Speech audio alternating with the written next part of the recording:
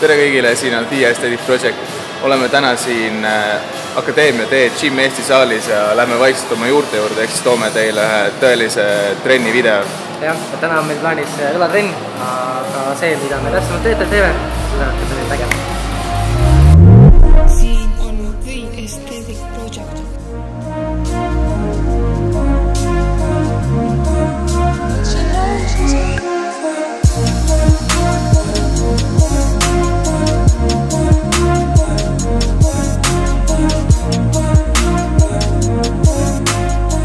Nii nagu öeldud, siis äh, täna on plaanis õlg, et äh, alustame siin äh, suure harjutusega, õlapressiga.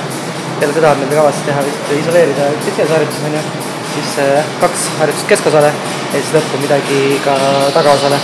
aga nüüd siin esimese harjutuse juures, praegu meil on kolm seeriat tehtud, et kokku on meil neli tööseeriat, et vaikselt siin liigume nende kordustega allapoole, raskused samal ajal tõusevad. kindlasti enne tööseeriaid tehke ka mingid soovimisseeriad, et ikkagi niisugused surmamisharjutused ikkagi noh, nad on üsna koormavad teie õlale, et äh, kindlasti veenduge, et te olete ilusti soojaks saanud.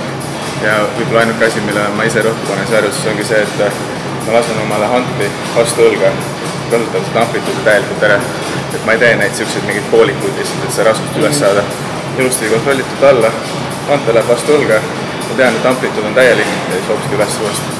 just, et see on selline võib-olla cue, mida te ise võiksite ka oma pressides kasutada.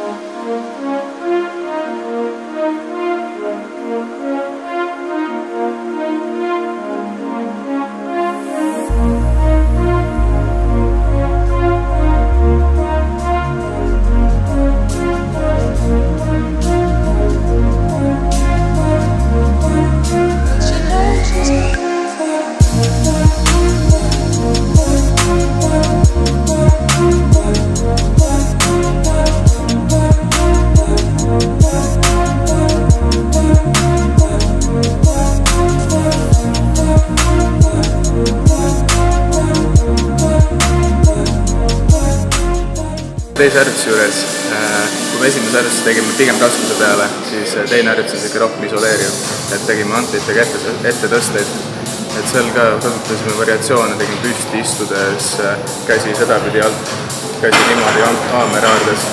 et see on niisugune pigem, suhtuge sinna nagu mängulikult, et seal ei ole mingeid kindlaid reegleid, pigem lihtsalt kõrgemad seeriad, selline hea tunnetus.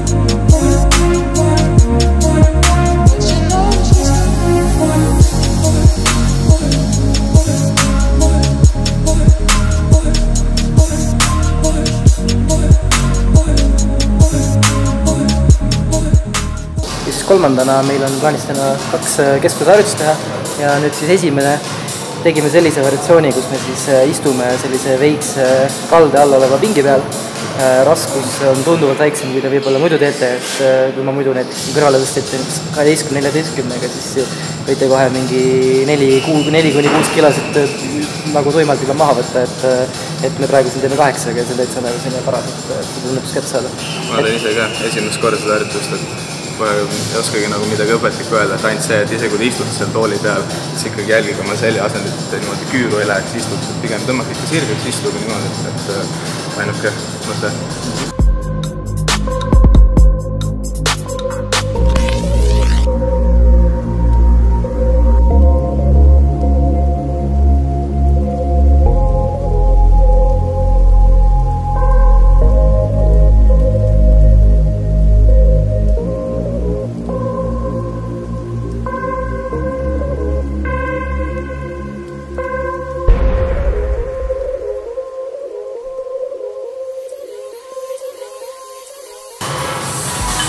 Mis toimub?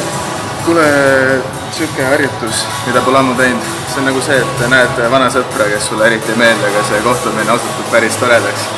et äh, põhimõtteliselt teeme hapraid rouse, teeme hapraid rouse nagu teeks kangiga ülestõsteid, aga siis meil on see nöör ja nööriga on see, et kui sa oskad, hoiad raskusest kinni, siis see surub su peopesad sissepoole. ja nüüd, kui sa teed kõrvaletõsted peopesad sissepoole, siis sa hitid eriti hästi seda keskkohta ja sellel ongi see nööri mõte, see nööri eelis. ja sellel on ka see, et äh, kõik ei ole eelis. ehk siis, kui sa teed selle nööriga raskelt, siis sul on äh, väike sõrm on põhimõtteliselt niimoodi, et sa pead selle pärast amputeerima ära, sest et see on üsna ebameeldiv nagu kätele. aga nagu tuntud filosoofid ütlevad, siis uh, no pain, no gain. jah, just. Rich, Rich Piana ütles seda, eks niimoodi, neljakümnendatest üks filosoof. kas sa nüüd uh, Rich Piana siis mälestuseks uh, pouring some for the ja see on äh, Rich Piana mälestuseks siis.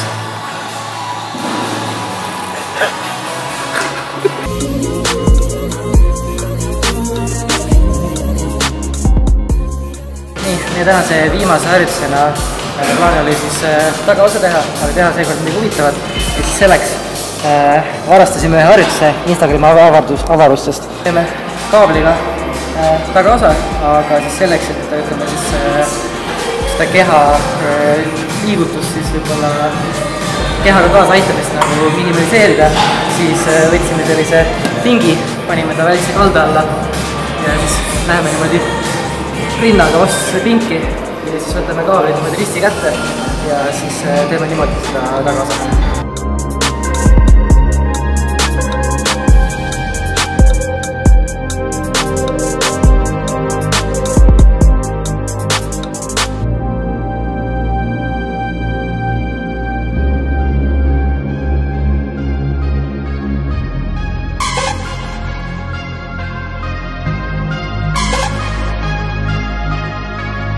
Trenn tehtud, selline siis meie selline tagasihoidlik kõlatrenn välja nägi. et kui teid huvitab täpsemad kordused, seeriate arvud, siis paneme selle siia video alla description'isse kirja. ja tegelikult mul midagi, et äh, like ida seda videot äh,, on mingi, teeme täna, sama väike nagu. ja siis äh, kommenteerige ja loomulikult, kui te veel ei ole subscribe inud, siis äh, vajutage seda subscribe nuppu. aga nii, et terve, näeme järgmises videos. Mõnusat päeva.